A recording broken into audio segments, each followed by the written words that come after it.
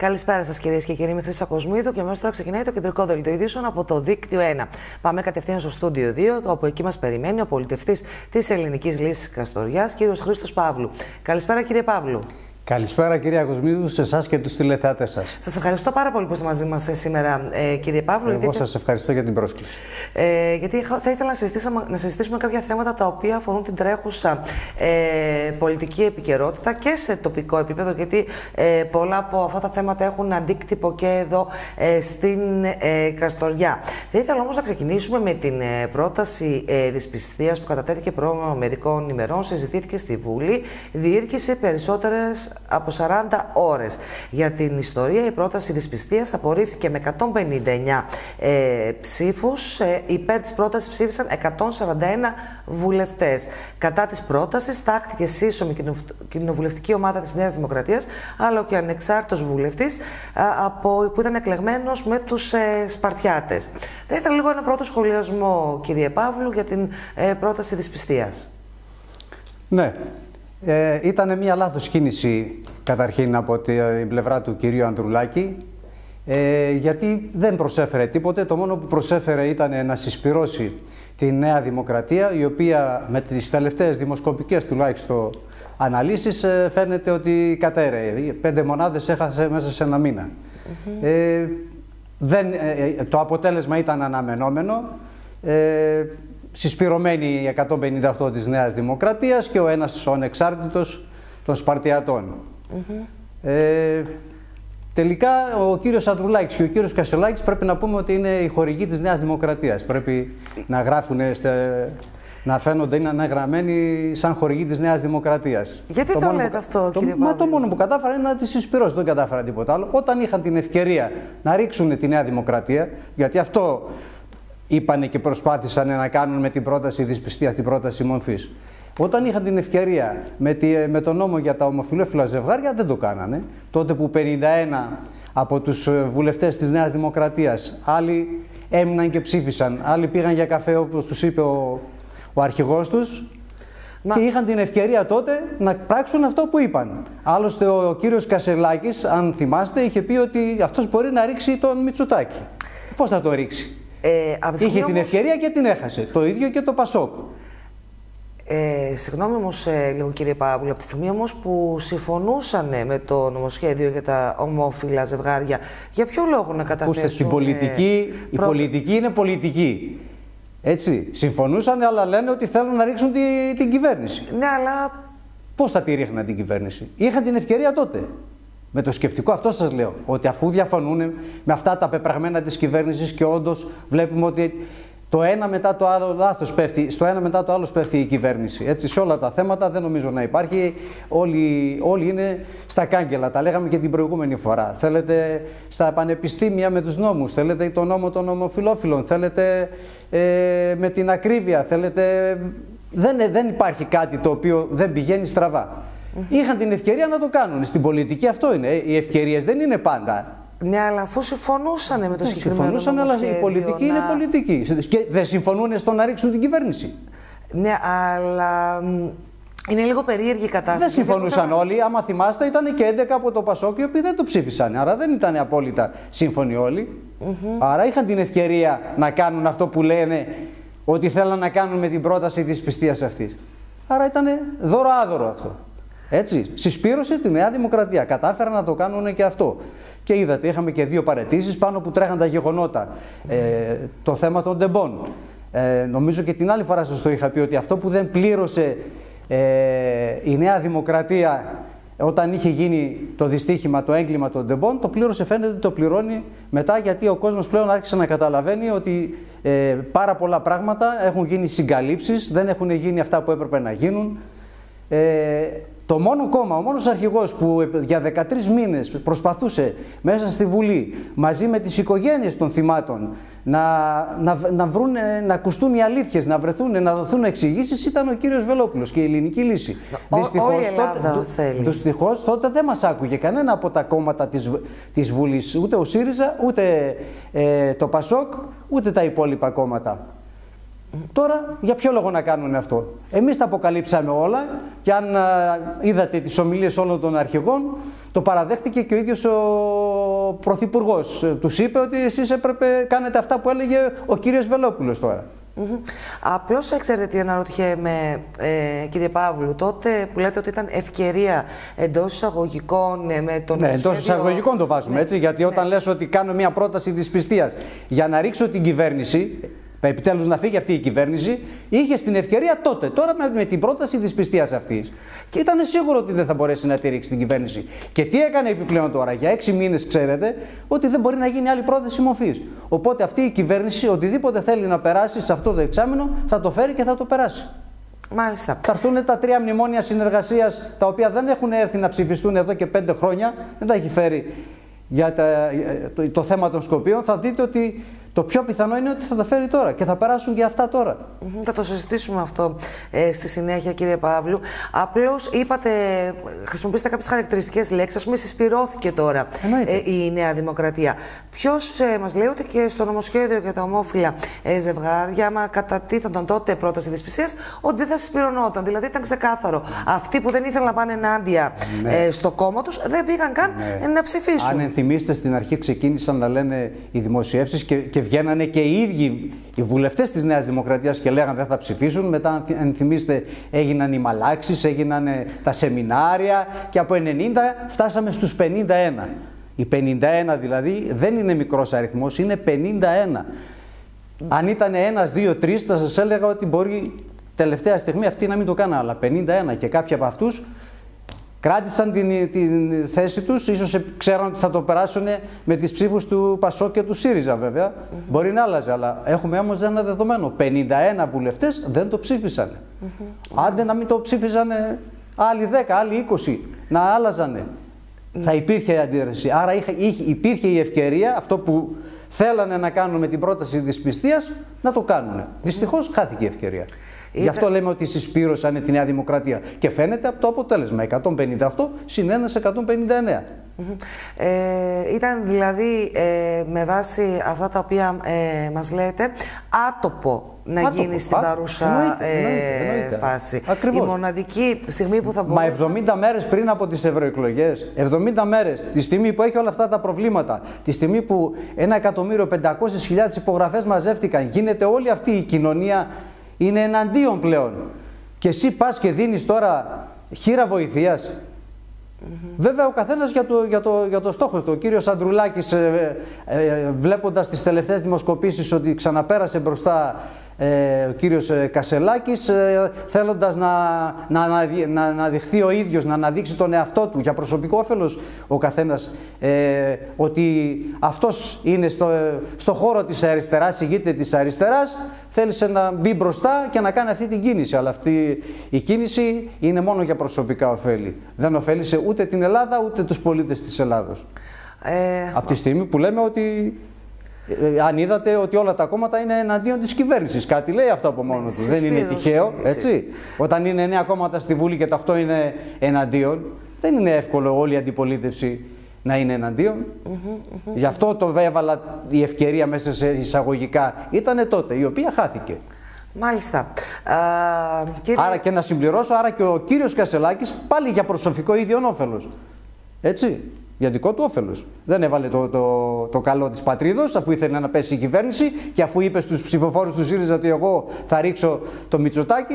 Πάλι είχε την ευκαιρία να το ρίξει, αλλά το ίδιο όφελος δεν τον άφησε να, να, να κάνει αυτό που έπρεπε να κάνει. Ήθελε να ψηφιστεί το νομοσχέδιο αυτό, το, το οποίο τον αφορούσε και προσωπικά. Να λέμε αλήθειες. Ναι, αλλά δεν αφορούσε μόνο τον ίδιο προσωπικά και αφορούσε χιλιάδες κόσμου εδώ στη χώρα μας. Χιλιάδες δεν ξέρω αν είναι χιλιάδες, αλλά το βασικότερο είναι, είναι ότι αφορούσε πρώτα αυτόν. Προσωπικά από αυτόν ξεκινάει. Γιατί δεν είναι μόνο τα όμορφα ζευγάρια, είναι και οι οικογένειές τους, είναι και συγγενείς. Οπότε και δια της πλαγιού δεν, δεν, δεν αντιλέγω, δεν αντιλέγω, δεν αντιλέγω, αλλά ε, προέταξε το προσωπικό του όφελος. Mm -hmm. Πότε θα έχει την ευκαιρία να ρίξει το Μητσοτάκι. Για πείτε μου εσείς με τι, με, με το 10 και με το 11 και με το 12%. Εντάξει, τώρα Αυτό λένε, είπαμε, η πολιτική είναι πολιτική. Mm -hmm, Και η δεν... πραγματικότητα, οι αλήθειες. Δεν ξέρω όμως, ε, άμα συμφωνείς με ένα νομοσχέδιο, για ποιο λόγο ε, να καταθέσεις πρόταση δυσπιστίας. Εγώ αυτό δεν μπορώ ε, να κατανοήσω. Να πας ενάντια στα πιστεύω σου μόνο και μόνο και να καταθέσεις πρόταση δυσπιστίας. Αυτό δεν σε ακυρώνει κατευθείαν σαν πολιτικό.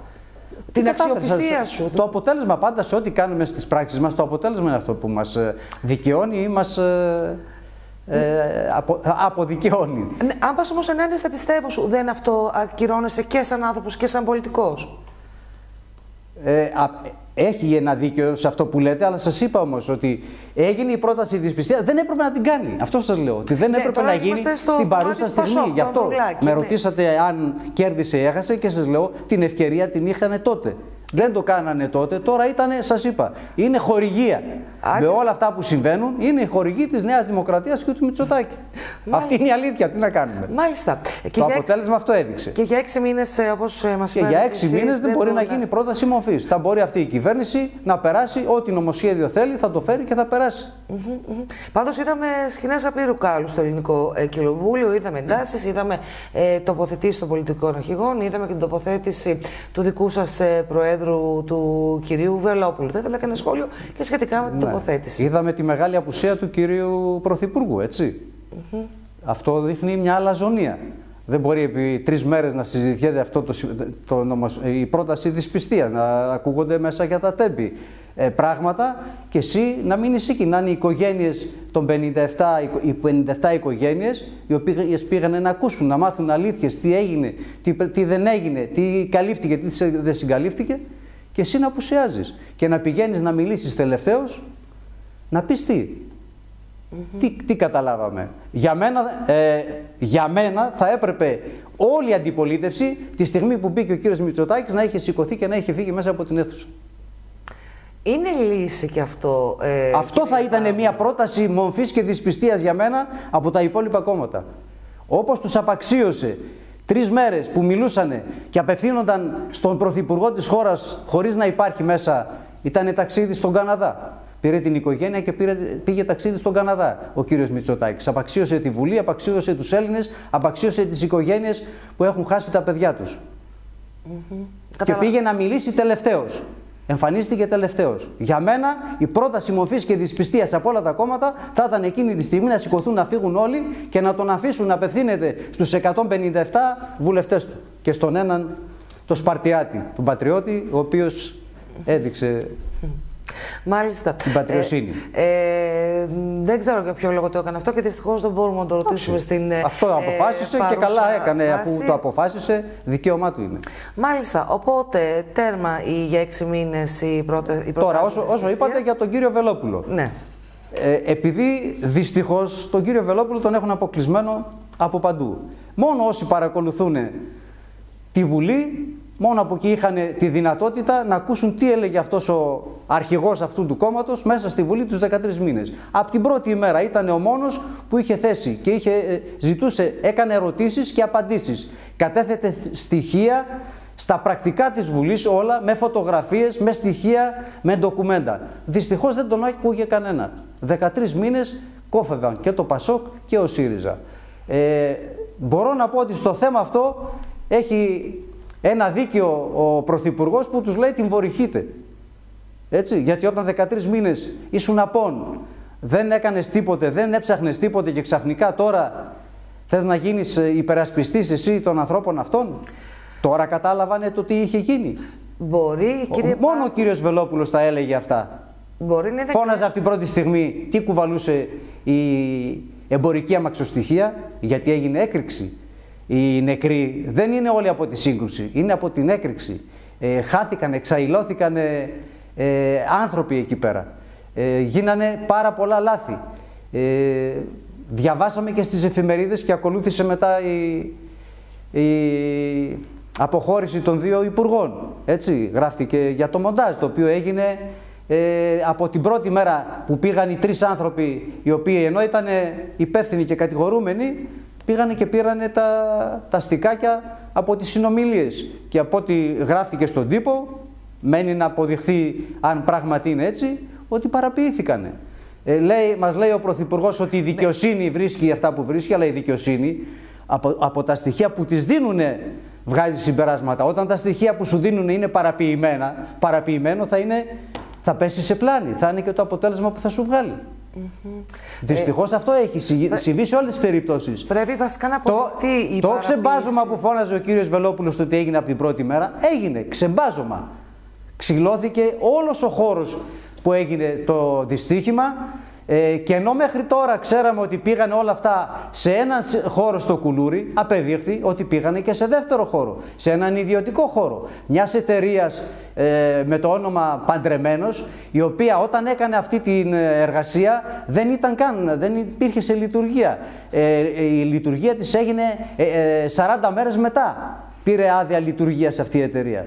Και προχθές πάλι απεκάλυψε πάλι ο κύριος Βελόπουλος μέσα στη Βουλή ότι υπάρχει και τρίτο σημείο πάλι ιδιωτικός χώρος. Στο οποίο πήγε το κοντέινερ, στο οποίο βρέθηκαν τα έξι βαρέλια με το ξυλόλιο. Αυτό το υγρό το οποίο ήταν υπεύθυνο για την έκρηξη που είδαμε, το μανιτάρι αυτό, το οποίο έκαψε τα βαγόνια και τους ανθρώπους που υπήρχαν μέσα στο τρένο. Μιλούσε για αγνοούμενους. Υπάρχουν αγνοούμενοι, 52 αγνοούμενοι. Κανένας δεν έδωσε απάντηση, ούτε θα δώσει. Μάλιστα. Ε, Αυτά πάντως- ήταν όλα τα ερωτήματα που 13 μήνες ήταν μόνο ο, ο κύριος Βελόπουλος και οι άνθρωποι που χάσανε τα παιδιά τους, τις οικογένειές τους, που προσπαθούσαν να βρουν τις αλήθειες. Ο μόνος που τους στήριζε μέσα. Ε, Πάντως είδαμε σκηνές έντασης, όπως είπα και προηγουμένως, εντός του Ελληνικού Κοινοβουλίου. Και για να το κλείσουμε ε, το θέμα, γιατί έχουμε και να πούμε και για Και άλλα. κάτι ακόμη για τον κύριο Μητσοτάκη, παραδέχτηκε για πρώτη φορά μετά από 13 μήνες ότι εκτός από το σταθμάρχη, εάν είχε γίνει η 7-17 είχε ολοκληρωθεί, δε- θα είχε αποφευθεί το γεγονός. Όποιος άκουσε τη συνέντε, την ομιλία του, υπάρχει μέσα στην ομιλία. Μάλιστα. Αυτό κάτι λέει, έτσι. Ε, πιστεύετε ότι ο, ο κύριος Ανδρουλάκης κατέθεσε τώρα την πρόταση δυσπιστία ε, περίπου τρεις μήνες πριν τις ευρωεκλογές Ούτε τρεις, ως- 70 μέρες, ναι. Ε, ως δυόμιση μήνες, ως μια κίνηση εντυπωσιασμού για να κερδίσει έδαφος, να κερδίσει ψήφους. Ακριβώς αυτό που σας είπα. Σας είπα ότι για να δείξει ότι αυτός ηγείται του, του κεντρό, κεντροαριστερού χώρου. Να δείξει ότι βγήκε μπροστά να κάνει κάτι. Και στην ουσία σας είπε ότι το μόνο που κατάφερε είναι να συσπυρώσει τη Νέα Δημοκρατία η οποία παρέπε δημογραφικ, ε, δημοσκοπικά ε, και, με, και με τα προβλήματα της- στην κοινωνία που υπάρχουν. Και ειδικά το θέμα των τεμπών, το οποίο θα το πληρώσει τώρα. Δεν το πλήρωσε τρεις μήνες μετά το δυστύχημα, θα το πληρώσει τώρα. Μάλιστα. Πάμε στο κομμάτι ευρωεκλογές, ε, ε, κύριε Παύλο. Είναι ιδιαίτερα σημαντικές ε, οι φετινές ευρωεκλογές και το έχω ξαναπεί. Στην ουσία είναι το πρώτο ε, crash test μετά τις βουλευτικές εκλογές. Να δούμε αν ε, το πλειοψηφικό κόμμα, δηλαδή η Νέα Δημοκρατία, κερδίζει έδαφος, χάνει έδαφος. Αν θα κερδίσουν άλλα κόμματα, θα χάσουν άλλα κόμματα. Αρκεί φυσικά ο κόσμος να προσέλθει στις ε, κάλπες. Να μην είναι πάλι ο μεγάλος ε, νικητής η αποχή. Γιατί ως επιτοπλίστων, ειδικά σ- ε, στις ευρωεκλογές, το μεγαλύτερο ποσοστό το παίρνει πάντα η αποχή, κύριε Παύλου. Ε, το μεγαλύτερο ποσοστό το παίρνει η αποχή και το μεγαλύτερο ποσοστό της αποχής, όπως ε, ξέρετε, πηγαίνει στο πρώτο κόμμα. Αλλάζουν τα ποσοστά, Κερδίζει δεν το είναι, πρώτο δεν είναι κόμμα. ακριβώς έτσι, κύριε Ε, Παύλου. τα μεγαλύτερα ποσοστά πηγαίνουν. Αυτό είναι μαθηματικά. Το ξέρουμε πάντα ότι Ναι. Ακα- το μεγαλύτερο ποσοστό πηγαίνει στο πρώτο κόμμα από την αποχή. Έτσι γίνεται δυστυχώς πάντα. Γι' αυτό και βλέπετε στις δημοσκοπήσεις, το είπαμε και την άλλη φορά, ε, όλο το ποσοστό, ξαφνικά το, το πρώτο κόμμα από το 26-27, ξαφνικά το δίνουν 36-37. Γιατί λέει με την αναγωγή το μεγαλύτερο ποσοστό θα πάει εκεί πέρα και ανεβαίνει το ποσοστό Γίνεται της η εκεί πέρα. διαίρεση με βάση τους ε, ψηφοφόρους. Δεν γίνεται με βάση ολόκληρο το εκλογικό σώμα. στην Το ουσία. θέμα είναι ότι πρέπει να πάμε να ψηφίσουμε. Είναι σημαντικές οι ευρωεκλογές. Δεν είναι αυτό που θεωρεί ο πολίτη ο κόσμος ότι δεν μας ενδιαφέρει, τι μας νοιάζει εμάς, τι γίνεται στην Ευρώπη. Όχι, μας νοιάζει και πρέπει να μας νοιάζει, γιατί όπως είδαμε σε όλα τα πράγματα, σε όλα τα θέματα, οι αποφάσεις παίρνονται εκεί. Θέλετε για την ενέργεια, θέλετε για τα πρωτογενή τομέα, τα αγροτικά θέματα, τις χρηματοδοτήσεις μας, τα οικονομικά μας, όλα από εκεί αποφασίζονται. και για τη γούνα. Άρα, α, τα πάντα, τα πάντα. Εμπάργκο στη γούνα, στα αγροτικά προϊόντα, εκείνοι αποφάσισαν. Εκεί αποφασίζονται όλα. Δυστυχώς, ευτυχώς ή δυστυχώς, εκεί αποφασίζονται. Άρα είναι σημαντικό. Πρέπει να το καταλάβει ο κόσμος και πρέπει να δίνει μεγάλη βαρύτητα εκεί πέρα. Και πρέπει να στέλνουμε ανθρώπους οι οποίοι γνωρίζουν, οι οποίοι είναι γνώστες και να μην στέλνουμε δυστυχώς μέχρι τώρα ανθρώπους οι οποίοι είναι των, ε, του lifestyle, των media, του ποδοσφαίρου. Αυτό βλέπουμε ότι γίνεται μέχρι τώρα. Και μετά ε, ψηφίζονται νόμοι και είμαστε εκτός και λέμε γιατί έγινε αυτό, γιατί έγινε το άλλο. Καλά, ένας άνθρωπος ο οποίος προέρχεται από το χώρο του αθλητισμού δεν σημαίνει ότι δεν μπορεί να αποδώσει και στο Ευρωκοινοβούλιο. Ναι, αλλά έχει αποδειχθεί μέχρι τώρα. Δικηγόρος, για παράδειγμα, εντάξει. ότι μπορεί να αποδώσει. Ποδοσφαιριστής που ήταν, δεν μίλησε ούτε μία φορά. Τι να πω τόσο. Ναι, δεν είναι. Ε, ο κύριος Ανδρουλάκης τόσα χρόνια στη, στην Ευρωβουλή και τα στοιχεία λένε ότι είχε τη, τη, τη χειρότερη παρουσία. Mm-hmm. Αρχηγός κόμματος. Μάλιστα. Ε, τώρα, τι επιδιώκει η ελληνική λύση στις ευρωεκλογές; Δηλαδή, ε, αυτή τη στιγμή η ελληνική λύση έχει έναν ευρωβουλευτή, τον κύριο Φράγκο, ο οποίος πριν ένα μήνα, πέντε εβδομάδες, ήταν εδώ πέρα στην ε, Καστοριά, έκανε μια επαφή με αρκετό κόσμο. Τα είχαμε συζητήσει και διεξοδικά ναι, ναι. εδώ μέσα στο δελτίο μας. Ε, κύριε Παύλου, ποιος είναι ο στόχος σας τώρα; Ο στόχος πρώτα είπαμε να καταφέρουμε να πείσουμε τον κόσμο να πάει να ψηφίσει και να επιλέξει ανθρώπους που να, να ασχοληθεί και λίγο, να δει στην Ευρωβουλή. Είναι πανεύκολο σήμερα. Όλοι ασχολούνται, οι νέοι ασχολούνται με το διαδίκτυο, μπορούν να μπουν εύκολα και να μάθουν. Να δουν ποιος Ευρωβουλευτής από αυτούς που έχουμε, τους 21 που έχουμε στην Ευρωβουλή, ποιος μίλησε, πόσες φορές μίλησε, για ποια θέματα μίλησε, τι κατάφερε, τι δεν κατάφερε. Τι έκανε για τη χώρα του, ε, βασικό. Ε, λοιπόν, ε, άρα μπορεί, μπορεί να πάρει αυτή την πληροφορία, την πληροφόρηση και να δει ποιου πρέπει να επιλέξει. Ε, το βασικότερο δηλαδή είναι αυτό, να μπορέσει να πείσουμε τον κόσμο να πάει να ψηφίσει και μετά να κάνει τις σωστές επιλογές. Εμείς ε, έχουμε κάνει ήδη τις περιοδίες, κάνει και ο κύριος Φράγκος και, τα, και ο, ο, ο πρόεδρος του κόμματος και όλοι οι υποψήφοι που θα είναι. Ενημερώνουμε τον κόσμο, τον ενημερώναμε μέχρι τώρα. Ε, ελπίζουμε να πάρουμε τουλάχιστον τρεις ευρωβουλευτές, τρεις έδρες στην Ευρωβουλή. Το Στόχος μας αυτός είναι. Το, κατελάχιστο. Ε, εντάξει, αυτό νομίζω ότι με τα ποσοστά που πιστεύουμε ότι θα πάρουμε, μακάρι να έχουμε την ευχάριστη έκπληξη να πάμε περισσότερο. Αλλά προς το παρόν τουλάχιστον νομίζουμε ότι οι τρεις είναι εφικτός ο στόχος. Τα μηνύματα που λαμβάνετε από τους πολίτες, ε, κύριε Παύλο, όσον αφορά τις ευρωεκλογές, ποια είναι, δηλαδή ε, λένε ότι θα σας ε, στηρίξουν, λένε για ποιους λόγους θέλουν να σας στηρίξουν, τι βλέπουν στην ελληνική λύση; Ναι, βλέπουν στην ελληνική λύση ε, η πορεία των πέντε χρόνων μέσα στη Βουλή, η σταθερότητα στις απόψεις μας, στις θέσεις μας, ε, οι τοποθετήσεις του Προέδρου μας, ε, η διορατικότητα που έχει σε ό,τι έχει πει, σε ό,τι έχει προβλέψει, δεν έχει πέσει ποτέ έξω, δεν έχει διαψευστεί σε τίποτε, άρα είναι, έχει όλα τα χαρακτηριστικά ενός ηγέτη, ο οποίος μπορεί ε, να πάρει, γιατί όχι, και τις, ε, την Πρωθυπουργία κάποια στιγμή, όταν ε, γίνουν οι ευρωεκλογές, ανεβούν τα ποσοστά μας, μπορέσει πλέον να μας γνωρίσει ο κόσμος, γιατί δεν μας γνωρίζει, δεν μας βλέπει, είμαστε αποκλεισμένοι. Μην κοιτάτε τα περιφερειακά. Α, γιατί πήγα να σας πω. Όχι, τα λέμε, τι, το λέμε αυτό. Ευτυχώς δηλαδή που υπάρχουν και τα περιφερειακά και μπορούμε και ακουγόμαστε λίγο. Γιατί είμαστε αποκλεισμένοι από παντού. Άμα δείτε και τα δελτία ειδήσεων, ε, ο κύριος Βελόπουλος έκανε το χαμό μέσα στη Βουλή και δεν τον έδειξαν σε κανένα δελτίο ειδήσεων. Δείχνουν μόνο τους τρεις, Αντρουλάκης, Κασελάκης ε, και Μητσοτάκης, ο οποίος απουσιάζει και τρεις μέρες μέσα από τη Βουλή. Γιατί αλλά... πιστεύει, θεωρείτε ότι υπάρχει. Ε, Εσείς το χαρακτηρίζετε αποκλεισμό. Εγώ, για να είμαι ειλικρινής. Ναι, και βγήκε ο κύριος λόγω... Μητσοτάκης και μας είπε για τα συμφέροντα και για τους ολιγάρχες και πλέον με τα φουσκωμένα πορτοφόλια δεν θα έχει σχέση. Αυτά μας είπε στη Βουλή χθες ο κύριος Μητσοτάκης. Τώρα, πέντε χρόνια τις απαντήσεις βέβαια τις πήρε από τις ίδιες τις εφημερίδες οι οποίες τον στηρίζανε για πέντε χρόνια. Δεν χρειάζεται να τα πούμε εμείς. Ο κόσμος βλέπει λίγο και καταλαβαίνει. Αν φαίνεται, αν έχουμε παρουσία, αν δεν έχουμε παρουσία. Πώς μπορείς να πιστέψεις ή να ακολουθήσεις ένα κόμμα, ένα πολιτικό αρχηγό, άμα δεν μπορείς να τον ακούσεις. Να ακούσεις τι λέει, ποιος είναι, ε, τι ε, κάνει. Εσείς προηγουμένως λέγατε όμως, ε, κύριε Παύλου, ε, ναι. και χίλια συγγνώμη που σα ναι, ε, διακόπτω, ναι, ότι υπάρχει και το διαδίκτυο, πηγή τη ε, πληροφόρηση. Δηλαδή, εάν κάποιος πραγματικά ενδιαφέρεται για, τα, για, για τα πολιτικά στη χώρα μας, Μπορεί ναι, να δει ναι, τα ναι. πάντα ανα πάσα στιγμή από διάφορες ε, ε, πλατφόρμες, από το ε, κανάλι της ε, Βουλής, από οπουδήποτε. Εάν πραγματικά είναι ένας πολιτικοποιημένο όν και θέλει να ξέρετε τι γίνεται στην ε, χώρα του. Ναι, Οπότε δεν νομίζω ότι το κόμμα το που εκπροσωπείται ναι, στηρίζεται στο πεντάλεπτο υπάρχει που θα πάρα πολλοί κόσμος, Υπάρχει πάρα πολλοί κόσμος που βλέπει, καλός ή κακός, τα 7 ε, μέσα ενημέρωσης που από το πρωί ως το βράδυ παίζουν. Είναι, και δεν είναι μόνο στα δελτία ειδήσεων, είναι όλες οι, οι, οι εκπομπές που ξεκινάνε οι ενημερωτικές από τις 5 ώρα το πρωί, ξεκινάνε τα πρωινάδικα, ξεκινάνε όλα. Σε όλα υπάρχει παρουσία των τριών κομμάτων. Ε, το διαδίκτυο, αυτός είναι και ο λόγος που εμείς μέσα από το διαδίκτυο προσπαθούμε να περάσουμε τις απόψεις μας, τις θέσεις μας και γι' αυτό και ε, βλέπετε αυτή την άνοδο. Πλέον ο κόσμος μας βλέπει και στο TikTok και στα Facebook και στα, στα Twitter παντού.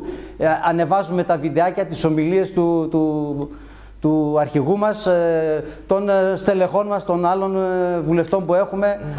Όλα αυτά τα ανεβάζουμε. Του Ευρωβουλευτή μας, του κυρίου Φράγκο από την Ευρωβουλή, όλες τις επερωτήσεις που έχει κάνει. Και αυτός είναι ένας μεγάλος λόγος που φαίνεται και το ακούμε και το βλέπω και εγώ προσωπικά. Μεγάλη αλλαγή. Κόσμος που έρχεται δίπλα μας λέει ότι θα σας στηρίξουμε. Και αυτό θα φανεί και και δημοσκοπικά στις επόμενες δημοσκοπήσεις, που δεν τις πιστεύουμε εμεί να μην το ξεχνάμε αυτό. Ναι, όχι, δεν, όχι, δεν τις πιστεύουμε, δεν τις εμπιστευόμαστε. Έτσι, απόλυτα. Στις τελευταίες ε, άμα, άμα είδατε χθες, γίνει... κάτι ανακοίνωσε ο κύριος Βερόπουλος, γιατί είπαμε και για ε, το ότι δεν ε, Πάλι θα ξαναρθώ σε αυτά που έλεγε που δεν διαψεύστηκε για την οθεία στις εκλογές. Το φώναζαμε στις εθνικές εκλογές, δυστυχώς δεν μας άκουγε το Πασόκ και ο ΣΥΡΙΖΑ. Τους είπαμε υπάρχουν 600.000 νεκροί, οι οποίοι είναι, δεν έχουν διαγραφεί ε, από τους εκλογικούς καταλόγους μας. Είχε επιβεβαίωση ο κύριος Λιβάνιος θα, θα φύγουν στις ευρωεκλογές. Δεν έφυγαν, το πήγε τον Νοέμβριο. Τότε Κόφευε πάλι το Πασό και ο ΣΥΡΙΖΑ. Τώρα μιλάνε και αυτοί γι' αυτό. Έγινε το θέμα με την κυρία Σιμακοπούλου για την επιστολική ψήφο. Τα emails που φύγανε, φύγανε μέσα από, από τα, τα κομματικά γραφεία της Νέας Δημοκρατίας. Την πρώτη μέρα μας είπανε και η κυρία Κεραμέως και το Υπουργείο Εσωτερικών. Δεν υπάρχει περίπτωση, δεν έχει φύγει τίποτε, είναι όλα καλά. Και μετά αποδείχθηκε ότι δεν ήταν καλά. Ήρθαν οι καρατομήσεις των δύο στελεχών της Νέας Δημοκρατίας. Ε, η κυρία Σιμακοπούλου δεν θα είναι υποψήφια. Και επιβεβαιωθήκαμε και σε αυτό. Και τώρα μιλάνε, ας πούμε, θέλουν διεθνείς παρατηρητές, λέει ο κύριος Κασελάκης. Τώρα κατάλαβε ότι μπορεί να γίνει νοθεία. Και το είπε ο κύριος Βελόπουλος, η εταιρεία πάλι που πήρε τις επιστολικές ψήφους, πάλι είναι η ίδια εταιρεία Singular Logic. Ο κύριος ε, Δρυμιώτης είναι μέσα πρόεδρος στην εταιρεία της Space και στη Singular Logic. Είναι ο γκουρού των δημοσκοπήσεων όπως τον αποκαλούν ο οποίος βγαίνει και λιβανίζει από το πρωί στο βράδυ τον κύριο Μητσοτάκη και κατηγορεί όλους τους υπόλοιπους. Μάλιστα. Ε, κύριε Παύλου, θα ήθελα λίγο πριν ολοκληρώσουμε και τη συζήτησή μας, γιατί μας τελειώνει και ο τηλεοπτικός ε, ε χρόνος, να πάμε λίγο και στα τοπικά. Θα ήθελα λίγο το σχόλιο σας για την ε, ε, κατάσταση που επικρατεί στην ε, Κραστοριά. Νομίζω κοινή παραδοχή όλων είναι ότι είναι πρωταγωνίστρια η ανεργία. Και αυτό είναι και το παράπονο, νομίζω, των Καστοριανών. Και το θέμα της ανεργίας είναι ένα θέμα το οποίο μπορεί να λύσει μόνο το κεντρικό κράτος. Πώς θα γίνει αυτό δεν ξέρω. Θα φέρει επενδύσεις, δεν ξέρω. Θα ανοίξει ε, θέσεις εργασίας ε, σε διάφορους φορείς. Μόνο το κεντρικό κράτος μπορεί να δώσει λύση. Ε, σίγουρα το κεντρικό κράτος. Εμπάρκο. Έχουμε ακόμη εμπάρκο. Δεν συνεχίζει το εμπάρκο. Ναι. Στη Γούνα. Στα αγροτικά προϊόντα. Για ποιο λόγο να συνεχίζεται; Πρώτη κίνηση σταματάει το εμπάρκο. Δεν κατάλαβα για ποιο λόγο να ισχύει αυτό το εμπάρκο ακόμη. Δεν, δεν παίρνουν. Δεν παίρνουν ε, αυτό είναι απόφαση για... αυτό που λέγαμε προηγουμένως, της Ευρωπαϊκής Ένωσης. Ποιας Ευρωπαϊκής Ένωσης; Δεν παίρνουν αέριο στη Γερμανία, το ρωσικό το αέριο; Δεν το παίρνουν με άλλο τρόπο. Να βρούμε κι εμείς έναν τρόπο να σταματήσει το εμπάργκο. Άμεσα. Άμεσα. Ένα λοιπόν το εμπάργκο. Δεύτερο. Δεύτερο, επενδύσεις. Είπατε επενδύσεις. Επενδύσεις ναι. ακούμε, επενδύσεις παντού πηγαίνουν εκτός από την Καστοριά. Βέβαια, τελευταία ακούμε και κλείνουν εργοστάσια. Έτσι. Είναι τρία εργοστάσια τα οποία ακούστηκαν ότι έκλεισαν. Ένα είναι της Γιούλα, μετά από 70-75 χρόνια, 300 εργαζόμενοι στο δρόμο. Άλλα δύο χθες, ένας στο Κυλκής, ένας στη Θεσσαλονίκη, πάλι εργαζόμενοι στο δρόμο. Πού είναι η ανάπτυξη που μας λέει ο κύριος Γεωργιάδης που μας έλεγε και τώρα ο, ο άλλος Υπουργός Ανάπτυξης; Ποια ανάπτυξη; τώρα που μου το θυμήσατε προεκλογικά, κάτι είχε υποθεί για το ποσοστό της ναι. ανεργίας, ναι. ότι θα μειω... Κάτι, κάτι. Ναι, είχε πει ο κύριος Γεωργιάδης. Ναι, ναι, γιατί είναι ναι, τόσο πολλές οι πληροφορίε. Ναι, έφυγε από το Υπουργείο όμως εκείνο, τώρα άλλαξε Υπουργείο. Ε, το ξέχασε. Έτσι, δυστυχώς έτσι γίνεται. Οι υπουργοί αλλάζουν από τα υπουργεία και αυτά που έχουν υποσχεθεί και έχουν δηλώσει μετά δεν είναι στην αρμοδιότητά τους γιατί έχουν αλλάξει Υπουργείο.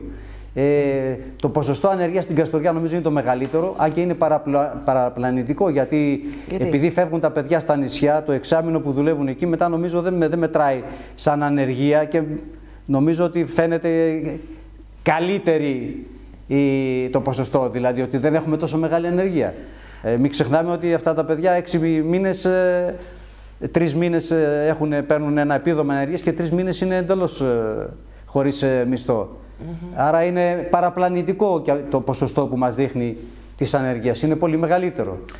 Ε, Άρα ξέρετε, είναι αυτό δύο, λίγο- δύο βασικοί λόγοι είναι αυτοί οι, επενδυ, οι επενδύσεις βασικά, να γίνουν άλλες θέσεις εργασίας από τη στιγμή που με τη Γούνα δεν μπορεί να επανέλθει όπως ήταν η Γούνα, αλλά να σταματήσει το εμπάργκο, έστω οι επιχειρήσεις αυτές που έχουν μείνει να μπορέσουν να βοηθηθούν να ξανασυνεχίσει η παραγωγή, η κατανάλωση, οι εξαγωγές μας. Και δεύτερον, να έρθουν κάποιες επενδύσεις εδώ πέρα. Ακούγαμε για εργοστάσια με μπαταρίες, το ένα, το άλλο. Δεν έχει γίνει τίποτε. Ναι. Ναι. Πάντως αυτό που είπατε για τα ποσοστά της ανεργία. Βγαίνουν προγράμματα, να πω και τ' άλλο τώρα. Ε, δηλαδή, απίστευτο. Βγαίνουν προγράμματα, μας ανακοινώνουν τα προγράμματα από το επιμελητήριο. Ο πρόεδρος του επι- επιμελητηρίου λαλίστατος για προγράμματα συνέχεια, τα οποία όμως ο ίδιος προς τιμήν του που τους έχει πει τους αρμόδιους και υπεύθυνους για τα προγράμματα ότι δεν θα μπορέσουν να περπατήσουν στην Καστοριά. Ναι, ότι δεν είναι μπορούν κα- να περπατήσουν. Πρέπει να αλλάξουν λίγο κάπως τα κριτήρια. Δεν τα σε αλλάζουν όμως κάποιες τα περιπτώσεις. κριτήρια και δεν αλλάξαν τα κριτήρια και χάνεται ο χρόνος ώσπου να δουν ότι το πρόγραμμα είναι καταδικασμένο να αποτύχει. Στο έχει πει τον ακούω που τα λέει καθημερινά στα κανάλια. Ότι το πρόγραμμα τους έχουμε ενημερώσει ότι Δεν θα νομίζω αποτύχει να το πρόγραμμα, χρησιμοποιήθηκε- αλλά χάνεται ένας χρόνος 4-5 μήνες και πάλι θα μείνουμε εκτός η Καστοριά. Δεν θα μπορέσει να υλοποιήσει τίποτε. Τουλάχιστον αυτό ακούω εγώ. Δεν ξέρω αν κάνω λάθος, αν ακούτε κάτι άλλο εσείς. Ε, για- Είχαμε ακούσει για 5.000, αν θυμάστε, ότι θα παίρναν όλες οι επιχειρήσεις. Έγιναν τρεις. Μπήκε μετά η Κοζάνη να πάρει και η Κοζάνη, άρχισαν να πέφτουν. Εκείνα χάθηκαν, ξεχάστηκαν. Όλα αυτά όμως λεγόταν προεκλογικά, αν θυμάστε. Ναι. Έτσι, πέρσι την περσινή χρονιά προεκλογικά έπαιζε αυτό το θέμα ότι θα πάρουν όλες οι επιχειρήσεις. Κάναμε τη δουλειά μας, πετάξαμε αυτα, τις, ε, τις ωραίες ε, ε, ανακοινώσεις οι οποίες ήταν φρούδες ελπίδες για όλο τον κόσμο. Το ίδιο λέμε και τώρα πάλι. Έχουμε ευρωεκλογές, πάλι προγράμματα ανακοινώσαμε τα οποία δεν θα μπορέσει να καλύψει κανένας, να μπει κανένας. Είναι τέτοιες οι ασφαλιστικές δικλείδες που δεν μπορεί να μπει καμία επιχείρηση στην Καστοριά. Ε, κύριε Παύλου, ε, θα έχουμε πάρα πολύ καιρό μπροστά μας να τα λέμε. Θα έχουμε δυόμισι μήνες. Πρέπει να ολοκληρώσουμε τη συζήτησή μας. Οπότε πάμε στον επίλογό σας και το μήνυμά σας για τις ευρωεκλογές της 9η Ιουνίου. Ναι. Επειδή δεν τα αναφέραμε, ε, μας δόθηκαν και οι απαντήσεις στις δύο ερωτήσεις που καταθέσαμε, Α, να το ναι, πούμε μετά πάλι. από τρεις Έτσι μήνες, πάλι ναι, ναι, ναι. είναι η τρίτη ή τέταρτη φορά που κάναμε για το φράγμα ιστορίου, πονεμένη ιστορία.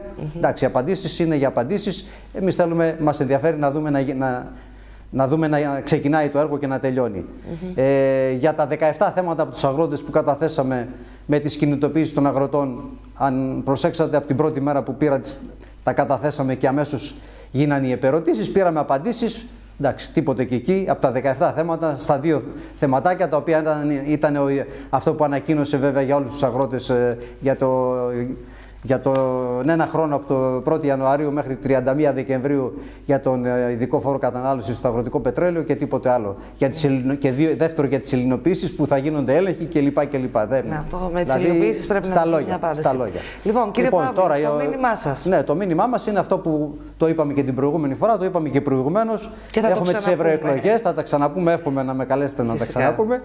Ε, να, να, ο κόσμος να ασχοληθεί με τις ευρωεκλογές, να μην το περάσει στον ντούκου που λέμε, να διαβάσει, να μελετήσει. Όλες οι αποφάσεις, ξαναλέω, όλες οι αποφάσεις παίρνονται στην Ευρώπη, άρα πρέπει στην Ευρώπη να στείλουμε ανθρώπους οι οποίοι θα γνωρίζουν, θα ξέρουν τα θέματα, τι έχουμε εμείς στον πρωτογενή τομέα, τον τουρισμό ε, και τη γούνα. Πρέπει να στείλουμε ανθρώπους να είναι γνώστες, να τα ξέρουν αυτά τα θεματα Ο κύριος Φράγκος απεδείχθηκε ότι είναι στον πρωτογενή τομέα ε, άπεχτος, έχει καταθέσει πάρα πολλές προτάσεις. Ε, θα έχουμε και άλλα στελέχη, θα ανακοινωθούν οι υποψήφοι μας ε, προσεχώς, οπότε μπορούμε να επιλέξουμε. Όπως και οι υπόλοιποι στα κόμματα που θα ψηφίσουν να κάνουν σωστές επιλογές. Να στείλουν ανθρώπους που, που αξίζουν να στείλουν. Όχι ανθρώπους για να πάνε και να μην τους έχουμε δει ε, στα πέντε χρόνια που μένουν εκεί πέρα να μην έχουν κάνει ούτε μία παρουσία ούτε μία πρόταση μέσα στη Βουλή. Το μόνο που τους νοιάζει είναι να πάνε να πάρουν το μισθό τους και να πηγαίνουν τα ταξιδάκια τους. Μάλιστα. Αυτό είναι. Κύριε Παύλου, όπως, Βασικό. όπως Ναι. είπα, θα τα ξαναπούμε και πιο αναλυτικά για τις ευρωεκλογές. Να σας ευχαριστήσω για ακόμα μία φορά για τον χρόνο σας και για όλα όσα συζητήσαμε. Εγώ σας ευχαριστώ για την πρόσκλησή σας και τους τηλεθεατές που είχαν ε, την υπομονή να μας ακούσουν. Να είστε καλά. Καλό σας Ευχαριστώ βράδυ. πολύ. Καλό βράδυ. Να αλλάξουμε τώρα θέμα. Την τίμια κάρα του Αγίου Καλίνικου, επισκόπου Εδέσης του Θαυματουργού, θα υποδεχτεί η Καστοριά το Σάββατο 30 Μαρτίου στον Ιερό Ναό Αγίου Γεωργίου Καστοριάς. Η υποδοχή θα γίνει σε 6 το απόγευμα του Σαββάτου στην πλατεία Χριστοπούλου, επί της οδού Αγίου Αθανασίου. Δύο μεγάλοι Άγιοι αγαπητοί μου αδελφοί, ο Άγιος Γρηγόριος Θεσσαλονίκης, ο Παλαμάς, ο Θεολόγος του Ακτής του Φωτός και ο Άγιος Καλίνικος, ο Επίσκοπος Εδέσης, δύο μεγάλοι Άγιοι της ε, Καστοριάς που συνδέονται με την Καστοριά, όλες τις εκκλησίες είναι οι Άγιοι, που συνδέονται με την Καστοριά και ιδιαίτερα με τον Ιερό Ναό, με την ιστορική ενορία του Αγίου Γεωργίου Καστοριάς.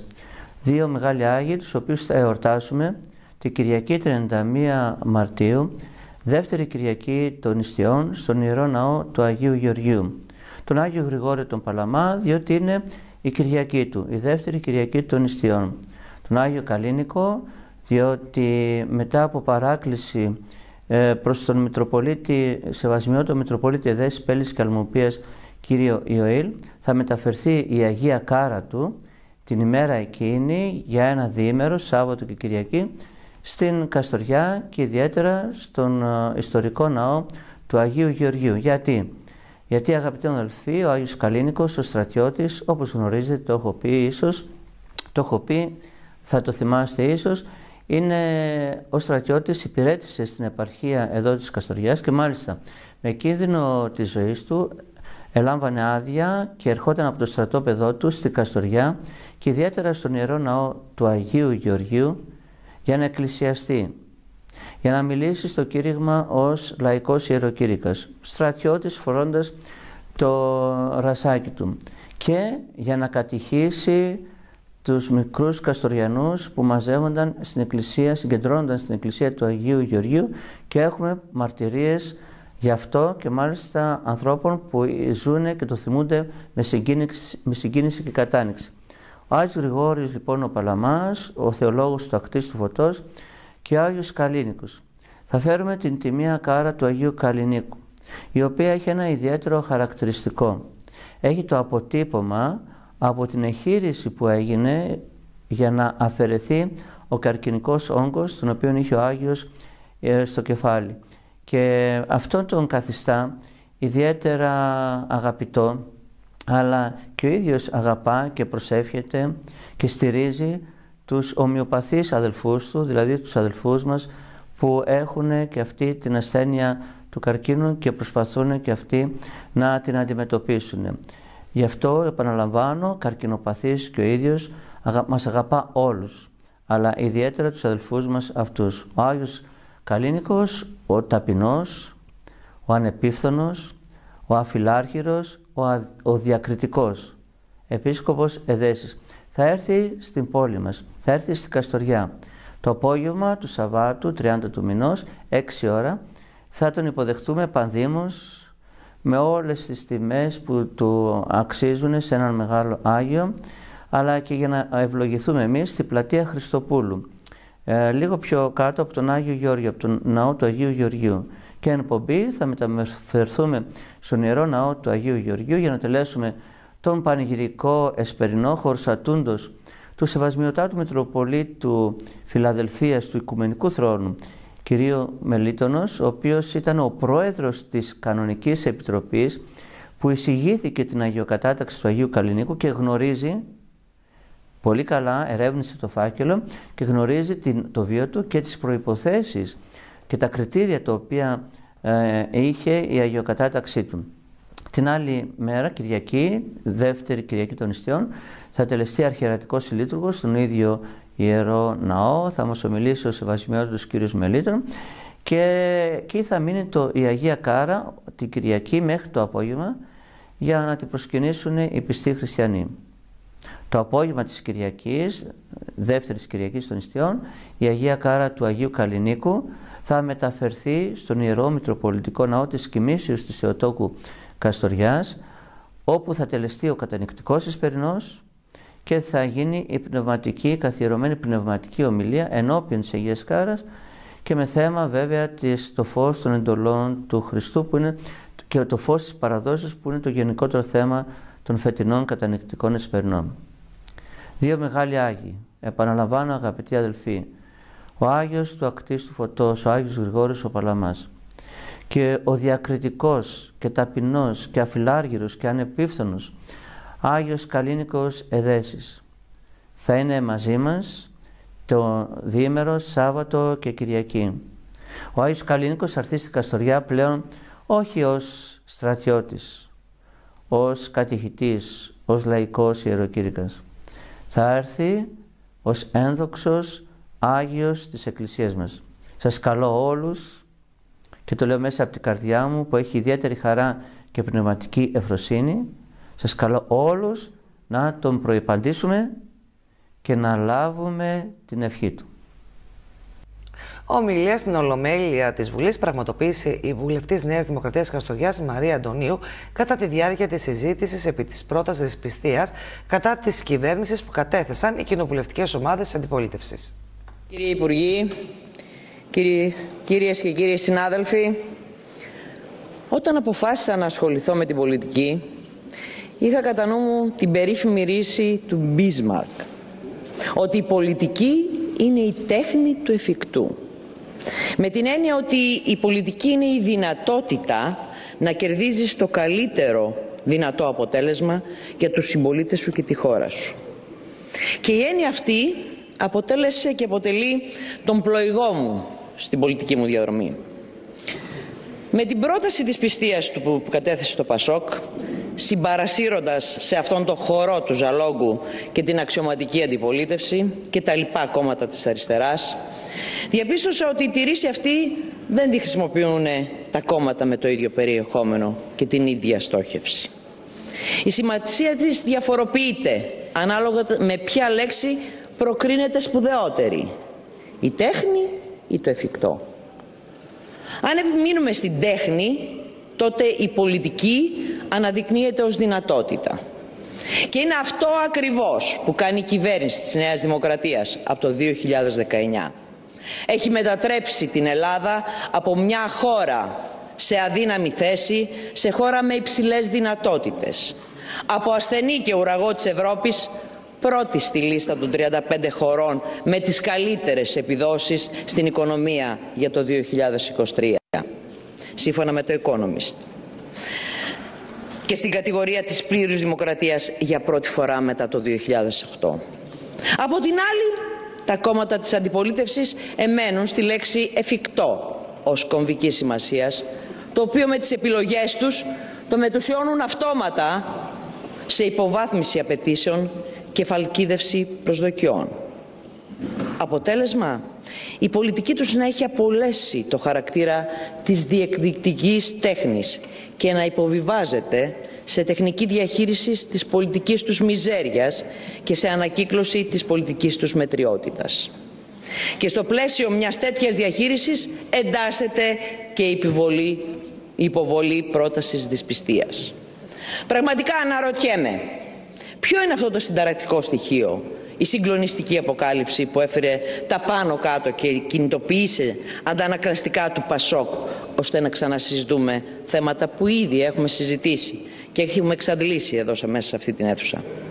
Το, το δημοσίευμα του Κυριακάτικου Βήματος ή μήπως αυτό είναι προφάσεις εναμαρτίας που εξυπηρετούν άλλου ίδιους συμφέροντα εκτός πολιτικής, των οποίων θεράποντες είστε εσείς κύριες και κύριοι συνάδελφοι του Πασόκ; Και που καταρθώσετε να στείλετε σε αυτή τη διαδικασία και τους κίνσορες της αριστεράς, οι οποίοι ρίχνουν νερό στο μήλο της εξυπηρέτησης των αλότριων συμφερόντων, των οποίων και εσείς αποτελείτε γρανάζι.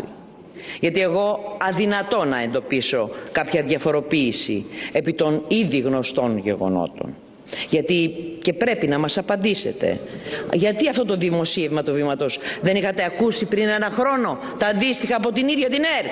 Αλλά σπεύσατε μόλις έπαιξε στο βήμα να καταθέσετε πρόταση μορφής. Για, να, για πείτε μας γιατί δεν μπορώ να το καταλάβω. Το τραγικότερο όλων είναι όμως, αγαπητοί συνάδελφοι, η εργαλειοποίηση του ανθρώπινου πόνου, αυτού του ανίποτου, ανυπέρβλου πόνου των συγγενών των συνανθρώπων μας που έχασαν τη ζωή τους στο, τραγικό δυστύχημα των τεμπών. Μένω εμβρόντιτη από το μέγεθος της υποκρισίας της αντιπολίτευσης που δεν διστάζει να πατήσει πάνω σε αυτό τον πόνο των συνανθρώπων μας τον οποίο κανείς μας δεν μπορεί να διανοηθεί στο ελάχιστο αν δεν τον έχει νιώσει ο ίδιος και υπερβαίνει το δικό μου αξιακό κώδικο αλλά και το συνολικό αξιακό κώδικα της Νέας Δημοκρατίας αυτή την βορυχία της αντιπολίτευσης προς ιδίων πολιτικό όφελος. Δύο περίπου μήνες πριν τις ευρωεκλογές. Προκειμένου να δημιουργήσει εντυπώσεις, να γύρει συλλογικό αίσθημα απέναντι σε ένα εξαιρετικά τραγικό γεγονός και να, να ανατρέψει πιθανά τα δημοσκοπικά δεδομένα. Και στη μεθόδευσή σας αυτή αναζητάτε αγωνιωδώς να βρείτε εμπλοκή του ίδιου του Πρωθυπουργού. Γιατί αυτό σας εξυπηρετεί προκειμένου να δημιουργήσετε τις συνθήκες πολιτικής εκμετάλλευσης που έχετε τόσο απεγνωσμένα ανάγκη. Ξεκινούμε λοιπόν από διαφορετική αξιακή βάση. Δεν σας ακολουθούμε στην κατρακύλα. Δεν σας ακολουθούμε γιατί πολύ απλά δεν είμαστε ίδιοι. Και ευτυχώς γι' αυτό. Εμείς στεκόμαστε με απόλυτο σεβασμό ανθρώπινα, αληθινά, πέρα και πάνω από κόμματα και χρώματα, δίπλα στους ανθρώπους που έχασαν τους δικούς τους ανθρώπους. Και στεκόμαστε με την ειλικρινή μας στάση να ζητάμε την αλήθεια και να αναμένουμε από τη δικαιοσύνη να κάνει ανεξάρτητα το έργο της ο ίδιος ο Πρωθυπουργός, ο Κυριάκος Μητσοτάκης, αυτό που αντιλαμβάνεται ως καθήκον του είναι να χυθεί άπλετο φως στην υπόθεση από τη δικαιοσύνη. Με ό,τι αποφασίσει η δικαιοσύνη και βέβαια να προχωρήσουν όλες οι κινήσεις αυτές που έχουν ήδη δρομολογηθεί για τον εξυγχρονισμό συνολικά των μέσων μαζικής μεταφοράς και προφανώς και του σιδηροδρομού. Είναι τραγελαφικό αγαπητοί και αγαπητές συνάδελφοι να μιλάτε για κράτος δικαίου εσείς που το βεκαλείστε κατά το δοκούν. Αν κάτι χαρακτηρίζει τη μεγάλη δημοκρατική μας παράταξη 50 χρόνια τώρα, αυτό είναι η προσήλωσή της στην υπηρεσία των θεσμών του κράτους δικαίου.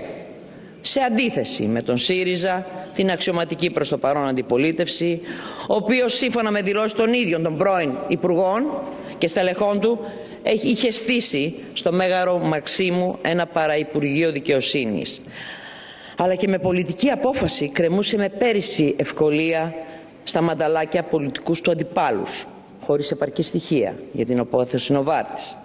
Και σε αντίθεση με καταδικασμένους υπουργούς του με 13-0 που απεδείχθη ότι επιχειρούσαν να στήσουν το δικό τους παραμάγαζο προς την ενημέρωση ελέγχοντας τα μέσα, ε, τα ΜΜΕ. Καλό λοιπόν θα ήταν κυρίες και κύριοι συνάδελφοι της αντιπολίτευσης να κρατάτε χαμηλούς τόνους όταν ομιλείτε για κράτος δικαίου. Γιατί η πορεία του καθενός μας είναι τα διαπίστευστήριά τους στους Έλληνες πολίτες και ο καθένας μας κρίνεται από τα έργα και τις ημέρες του. Αναρωτιέμαι αν θα συζητούσαμε, θα μου δώσετε και εμένα ένα λεπτό κυρία Πρόεδρε, αν θα συζητούσαμε επί της πρότασης της πιστεία, αν δεν είχαμε τις ευρωεκλογές σε περίπου δύο μήνες από σήμερα. Μόνο έτσι μπορώ να αιτιολογήσω την πολιτική αξία και αποτίμηση αυτής της ενέργειας. Μπορώ μόνο να την ερμηνεύσω ως σπασμωδική κίνηση του Πασόκ, το οποίο αδυνατεί να διαχειριστεί τη δημοσκοπική κατρακύλα από τη δεύτερη στην τρίτη θέση και απεγνωσμένα προσπαθεί να δημιουργήσει εντυπώσεις στους ψηφοφόρους του για να μην συνεχίσει ο δημοσκοπικός κατήφορος. Στο ίδιο μήκος κύματος προς άγραμ ψήφος παρασύρθηκε ο πρόεδρος του ΣΥΡΙΖΑ, που ούτε λίγο ούτε πολύ δεν δίστασε να αμφισβητήσει το, το αποτέλεσμα των εθνικών εκλογών του 23, που οδήγησαν σε διπλή νίκη τη Νέα Δημοκρατία. Μια νίκη που τη έδεσαν οι Έλληνες πολίτες επικροτώντας το κυβερνητικό της έργο και το κυβερνητικό της σχεδιασμό. Ο πρόεδρος της αξιωματικής αντιπολίτευσης μας κατατάσσει στην ίδια θέση με άλλες τριτοκοσμικές χώρες και υπονομεύει στην ουσία το δημοκρατικό μας πολίτευμα. Αν είναι δυνατόν. Ως μέλος της Κοινοβουλευτικής Συνέλευσης του ΑΣΕ αυτό το θεωρώ αδιανόητο. Τεράστιο ατόπιμα του κυρίου Κασελάκη. Κυρίες και κύριοι συνάδελφοι, είναι εμφανές ότι έχουμε να κάνουμε ένα μεθοδευμένο σχέδιο αποσταθεροποίησης, το οποίο έχει στόχο να κοντίνει την κυβέρνηση και να δυνατήσει την κυβέρνηση του κ. Μητσοτάκη. Και προκειμένου να το πετύχει η αντιπολίτευση, έχει συμπράξει με διάφορα συμφέροντα προκειμένου να επιβιώσει πολιτικά. Ε, λοιπόν, κανείς δεν μπορεί να κοντίνει την κυβέρνηση της Νέας Δημοκρατίας, γιατί την έχει ψηλώσει ο ίδιος ο ελληνικός λαός, ο οποίος μόλις πριν 10 μήνες ανανέωσε με διπλή εκλογή τη Συμφωνία Αλήθειας με τον Πρωθυπουργό Κυριάκο Μετσοτάκη και του έδωσε την ψήφα εμπιστοσύνης του να είναι εκείνος που θα συνεχίσει να ψηλώνει την Ελλάδα, αφού με το σχεδιασμό το δικό του και της κυβέρνησης κατορθώσαμε εμείς οι Έλληνες, όπως λέει και ο κορυφαίος νομπελίστας ποιητής Γιώργος Εφέρης, λίγο ακόμα να σηκωθούμε. Λίγο ψηλότερα. Και αυτό θα κάνουμε. Σας ευχαριστώ πολύ. Συναντήσεις με εκπροσώπους φορέων της Καστοριάς είχαν τα ποντιακά σωματεία του νομού. Σκοπός των συναντήσεων ήταν η διοργάνωση εκδηλώσεων για την ημέρα μνήμης της γενοκτονίας του ποντιακού ελληνισμού. Στο πρόγραμμα των εκδηλώσεων που θα πραγματοποιηθούν αναφέρθηκε ο πρόεδρος της οργάνωσης Ποντίου Νομού Καστοριάς, Στάθης Αμαραντίδης. Θα ήθελα να κάνω μια μικρή αναδρομή ε, για τις περσινές και να ευχαριστήσω μέσα από την καρδιά μου τον κόσμο για την στήριξη και την προσέλευσή του στις ε, δράσεις των σωματείων μας γιατί όπως είπαμε και θα το είχε ε, μάθει πλέον ο κόσμος το 23 ήταν πολύ σημαντικό για μας γιατί ήταν η ημερομηνία καταλήτης είναι ο ξεριζωμός από την ε, πατρίδα μας.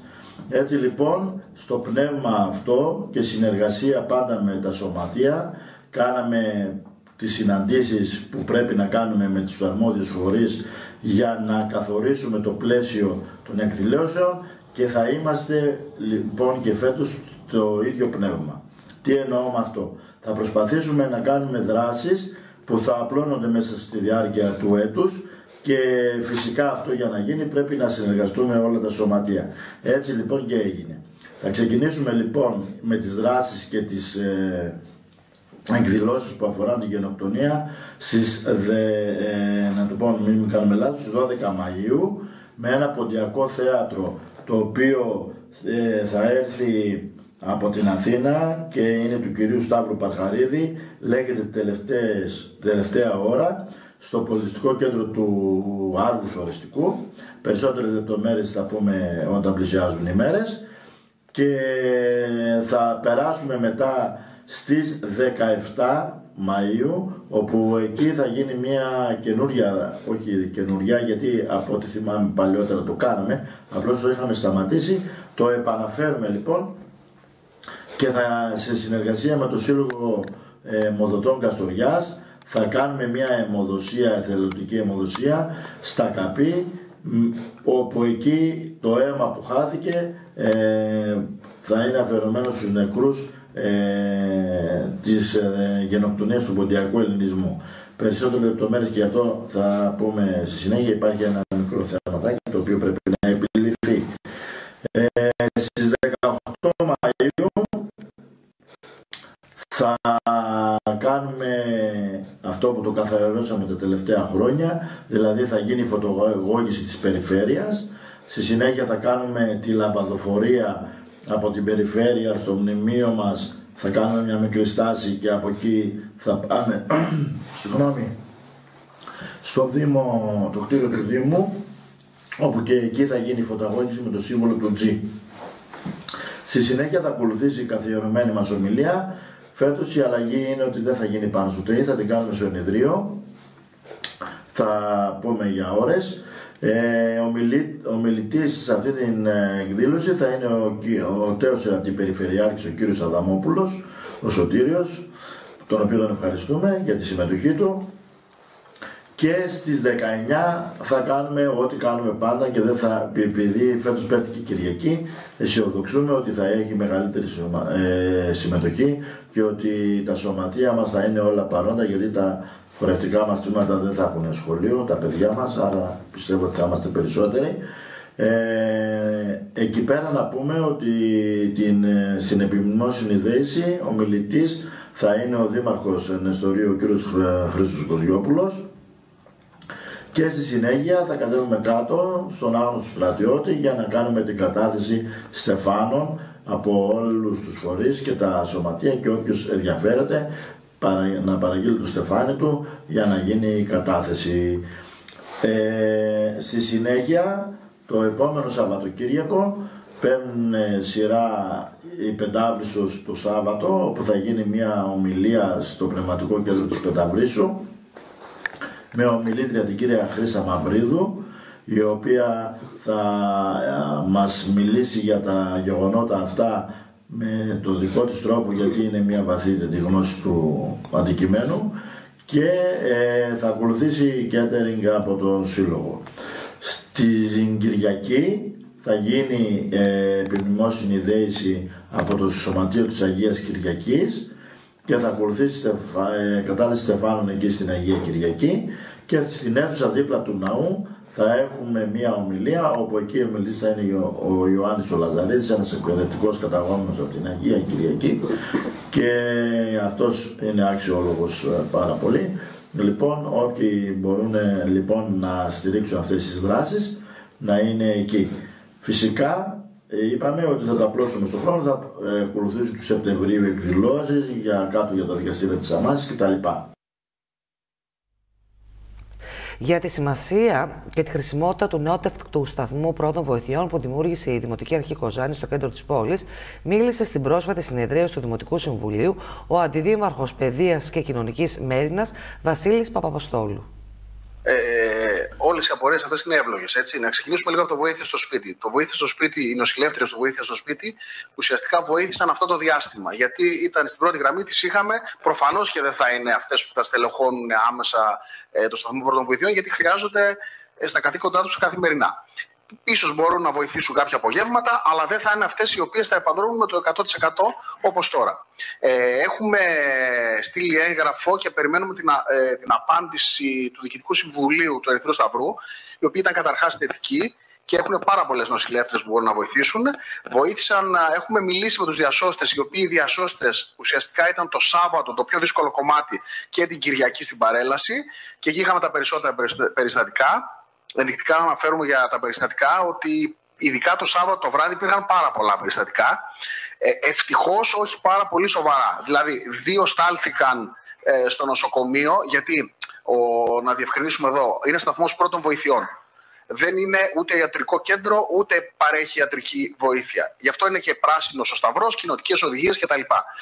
Παρέχουν μόνο απλές βοήθειες. Σε ένα παιδάκι που θα χτυπήσει το χέρι, σε κάποιον που θα χρειαστεί να μετρηθεί η πίεσή του. Τίποτα περισσότερο. Δηλαδή, αν το πάμε παραπάνω, νομίζω ότι το χάνουμε. Ε, με τον Ιατρικό Σύλλογο θα μιλήσουμε μόνο για δράσεις. Γιατί ουσιαστικά δεν χρειάζεται κάποιος γιατρός εκεί, γιατί δεν, δεν είναι ιατρικό κέντρο.